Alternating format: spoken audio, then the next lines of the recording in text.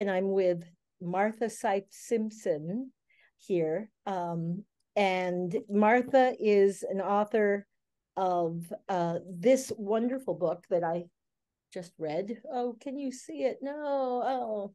Move uh, in front of you. it's called The Dreidel That Wouldn't Spin. And um, she's also an author of other books.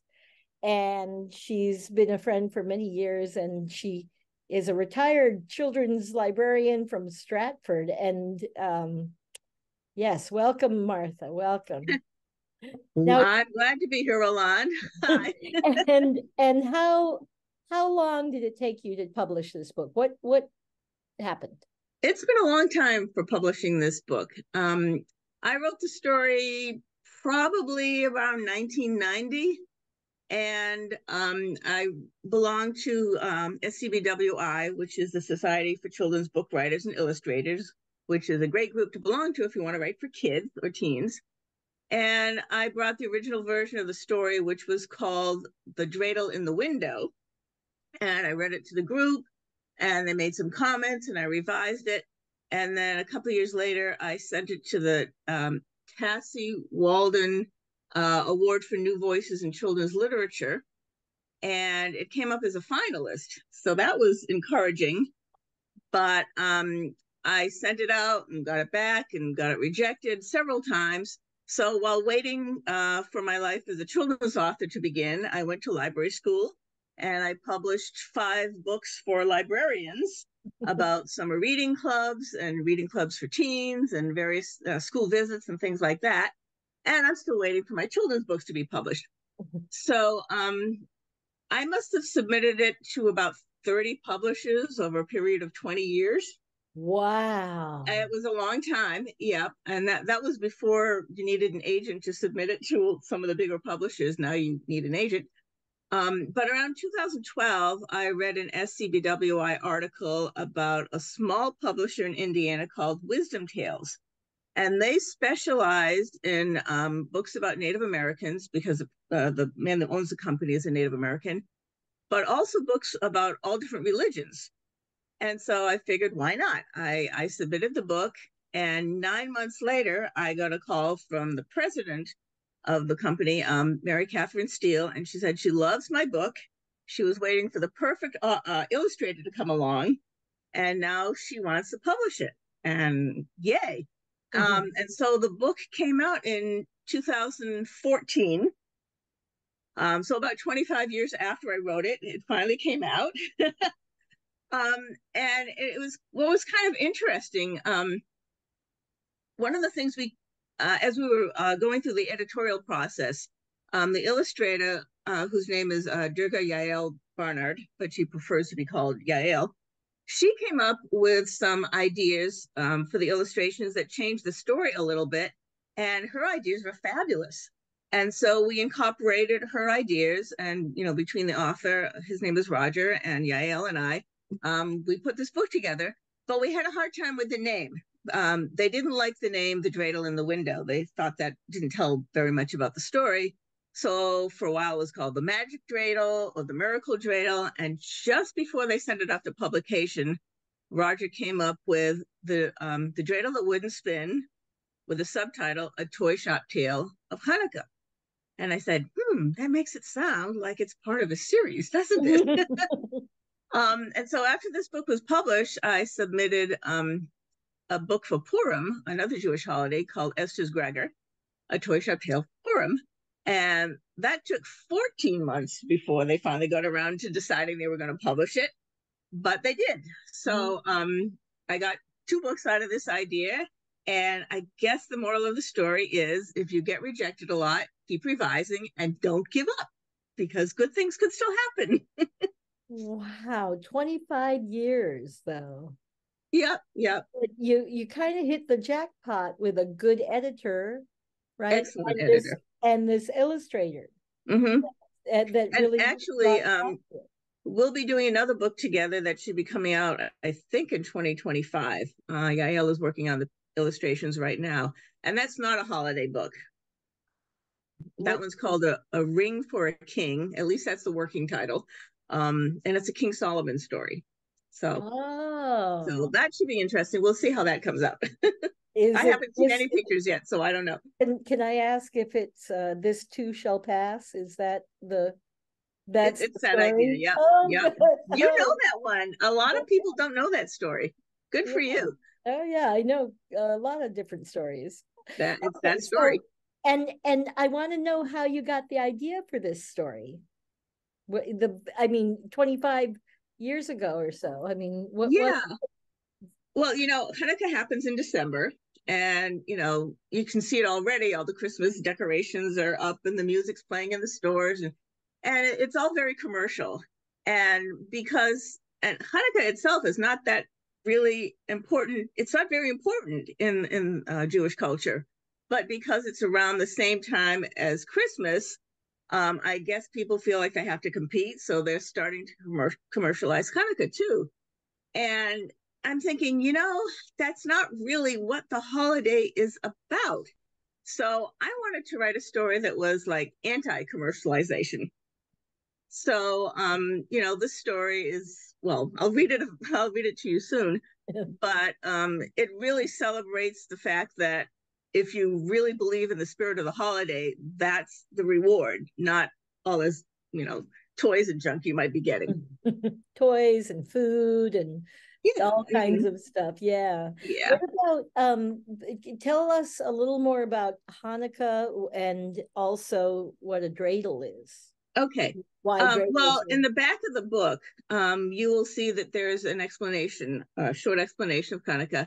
Um, so the uh, very briefly, I will tell you. Um, basically, uh, back in ancient times, um, Jerusalem was captured by invaders, and you know it was it was the Syrians and Greeks, and they wanted the Jews to worship the Greek gods, and the Jews didn't want to. So a war broke out, and um, a group of brothers, the Maccabees, um, they led this whole uh, revolution and even though they were outnumbered, um, the Maccabees and the Jewish people won. But during the process of all these battles, the temple was ruined. So, um, you know, the Maccabees wanted to rededicate the temple, and Hanukkah means rededication. So, in order to do that, they cleaned it all out, and they had to light the menorah in order, you know, to to um, to, to rededicate it and they only had enough oil for one day. And back then they used olive oil. Um, they didn't, you know, have candles like we do now. They didn't have electricity, so they used olive oil. But it takes uh, a few days to, you know, press the olives and get them all ready, purified and everything. Um, they had to go fetch it, do all that, and come back and and light the menorah. So they only had enough oil for one day. So they lit it, hoping for the best, and it actually lasted for eight days until someone was able to arrive with a new batch of oil. And so that is the miracle of Hanukkah, is that the oil um, that was only supposed to be enough for one day actually lasted for eight days. And because of that, fried foods, things that are uh, fried in oil, are very popular on Hanukkah, like potato pancakes and donuts. Oh. so um, that's the reason we have lots of greasy foods on Hanukkah. And the dreidel, what what's the significance of the dreidel? Is that yeah, um, the dreidel is a four-sided top, and each side has a letter of the Hebrew alphabet. Um, Nun, Gimel, Hey, and Shin. Um, and what those letters stand for are the words Nes Gadol Haya Sham, which means a great miracle happened there, there meaning Israel. Uh, if you're in Israel, they changed shin to the word po, because that means here. Um, so the way they play it is um, each player starts out with an even number of tokens. Uh, a lot of times it's Hanukkah gelt, which is chocolate covered, uh, chocolate candies covered in gold foil, but it could be anything. It could be pennies, it could be marbles, it could be acorns, whatever you want. So everybody starts out with the same number, and uh, people take turns spinning the dreidel. And depending on what letter it lands, they might um, take a coin or give a coin or take half the pot or not do anything. And, you know, as in all of these types of games, whoever ends up with the most or all of them at the end wins. Um, and so that's basically, you know, how you play dreidel. And also in the back of the book, there's an explanation of dreidel and how to play the game. Yeah, that's it's a fascinating kind of tradition because you've got this top and it, we play jacks right and that's similar but this top is um very specific for this game and this mm-hmm. uh, holiday, right? And it's it's yeah. carved. It, it usually uh, the tradition is um, carved out of wood, or, or, it could be carved out of wood. It could be made out of clay. I mean, you probably know that song. I had a little dreidel. I made it out of clay. Oh, and when it's dry, then you dreidel I will play. Um, mm-hmm. the one in the story is made out of wood, but we will we'll read that later. Um, but yeah, that's a that's the story of dreidels or what a dreidel and, is. Can you take to tell us where the story takes place? Right. So when I wrote the story, um, I was just thinking of somewhere in Eastern Europe. I didn't really have a specific place in mind, but I figured around the 1900s or so, um, because there were, you know, large uh, populations of Jewish people in the area at that time. Um, and when Yael got the book to illustrate it, she came up with the idea of putting it in Prague. Mm-hmm. Um, and I had seen pictures of Prague, and I know the Charles Bridge is very um, prominent there, um, and you know some of the buildings and everything. But this uh, earlier this month, my husband and I actually did visit Prague. It's the first time we'd ever been there, and I looked at the buildings and took pictures and then came back and looked at my book and go, wow, she really got the architecture correct and the lampposts and everything. I mean, she really did her homework. So, yes, the book takes place in Prague. I can verify that now. well, we should we should get you to read it because you can read the whole story right now, can't you? Mm-hmm. Yeah, I can read the whole story. Um, I won't have all the pictures to show, um, but I'm going to I'm going to show some of the pictures from the book, but not all of them. But I will read the whole story. Yeah. So um, let's see. Let's see if I get the screen to share this time. Uh, I have to press the right button, so, button, so hang on a bit. Yes. Okay, this is Prague. um, and you can see there's a bridge here. That's that's probably the Charles Bridge, although the real Charles Bridge has also just statues on it. Um, and the lampposts are exactly like they are in Prague. Um, and see how the buildings are curved like that? Mm. All the mm. buildings have that kind. A lot of them have that kind of curve. Um, one thing it doesn't have is that if you go to Prague, every single building has all kinds of statues and gargoyles all over them. Mm. But that mm. would be too messy to put in a kid's book. So, but this is what it looks like. And let me see if I can get to the next page. Whoops, is it going to go? Is it, is it going to go down or am I going to have to go back and do this? Let me see if it will let me advance to the next page.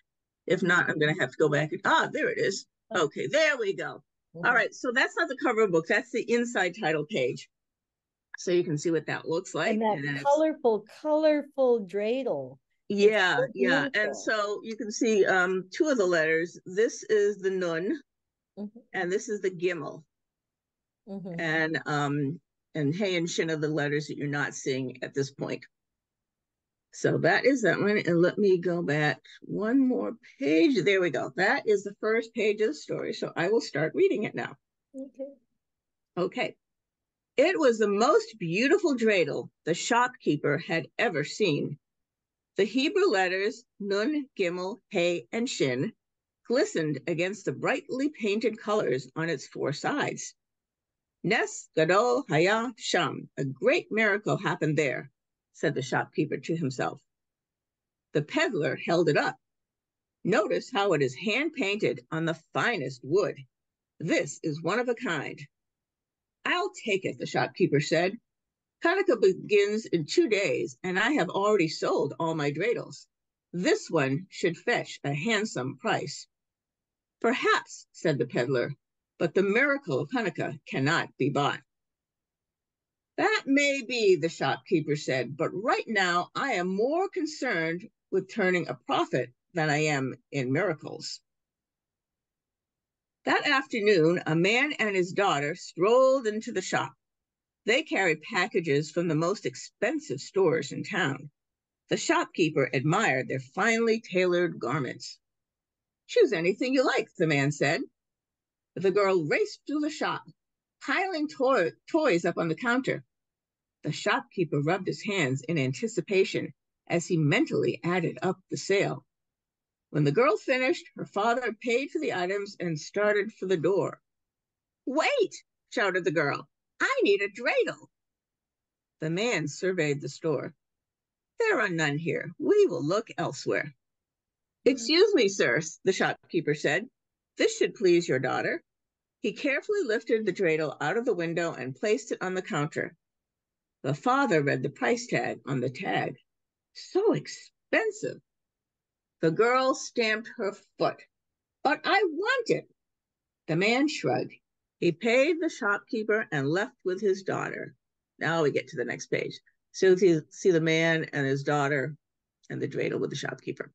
Mm. The next morning, they rushed into the shop. Thief, cried the man. This dreidel doesn't work. What do you mean? The shopkeeper asked. How can a dreidel not work? Look, the girl demanded. She stood the dreidel on the counter and gave it a twist, but instead of spinning, it just fell over. You see? she asked. The shopkeeper sighed. Well, then, what would you like in exchange? Scoundrel, hissed the man. I spent a tidy sum here yesterday. I demand my money back, or you will face the consequences. The shopkeeper turned pale. Such an important man could ruin his business. Of course, of course, sir. Here you are. I don't wish to argue.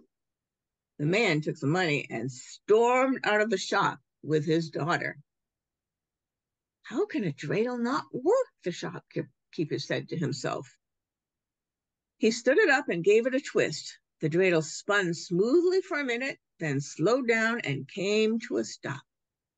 There's nothing wrong with it, mumbled the shopkeeper.